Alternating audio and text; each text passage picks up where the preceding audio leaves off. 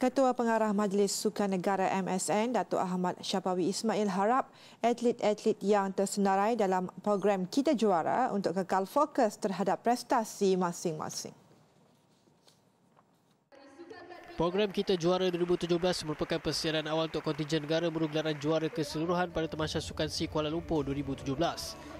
Memasuki fasa pertama, Syapawi ingin atlet terpilih agar tidak cepat berpuas hati dengan prestasi mereka. Jelas lagi kejayaan lalu tidak boleh jadikan penanda aras semata-mata kerana yakin kualiti atlet-atlet di negara lain juga akan turut meningkat.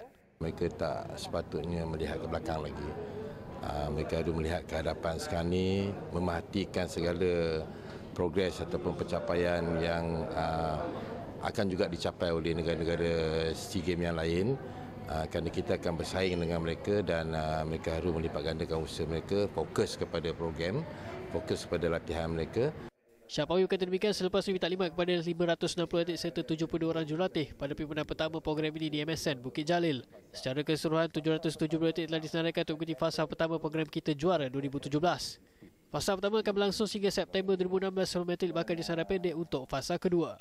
Ada 8 uh, kriteria dalam pemilihan uh, atlet dalam program Kita Juara.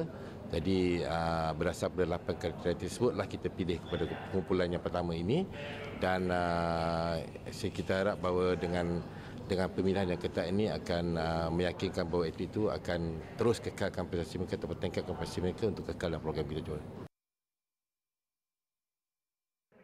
Sementara itu, Chef Division Negara untuk Sukan C 2017 Datuk Marina Chin harap barisan atlet negara mampu harungi segala cabaran dalam program Kita Juara 2017. Menurutnya, tanpa usaha keras serta komitmen tinggi atlet, impian untuk buru kejuaraan keseluruhan Temasya Sukan C 2017 tidak akan kesampaian. Selain itu, beliau juga ingin pastikan tidak ada masalah luaran akan mengganggu tumpuan atlet sepanjang mereka berada dalam program ini. Kita akan hadapi banyak cabaran lah oleh kerana bukan kita saja yang akan ada program tetapi semua negara pun akan prepare. Dalam dua tahun kita tidak boleh you know uh, make a world class player. So walaupun kita ada di antara tetapi uh, we have to work very hard lah for the next two years to make sure that we achieve our dream.